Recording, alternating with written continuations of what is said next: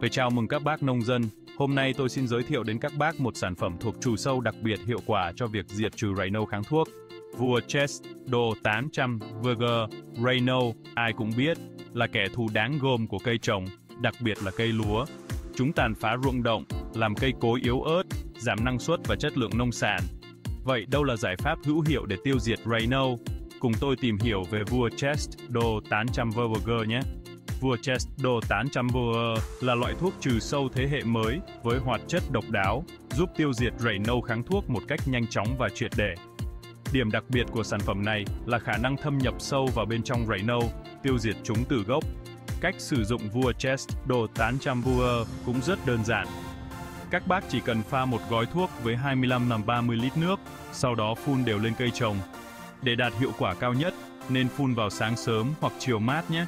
Khi sử dụng sản phẩm, các bác nhỏ trang bị đầy đủ đồ bảo hộ lao động như khẩu trang, găng tay và áo bảo hộ để đảm bảo an toàn.